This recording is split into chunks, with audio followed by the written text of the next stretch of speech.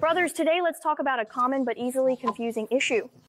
What exactly is the difference between an industrial computer and a server? This industrial computer here is mainly used for industrial control, such as in industrial automation, smart manufacturing, logistics, and transportation industries. They need to operate stably in harsh environments.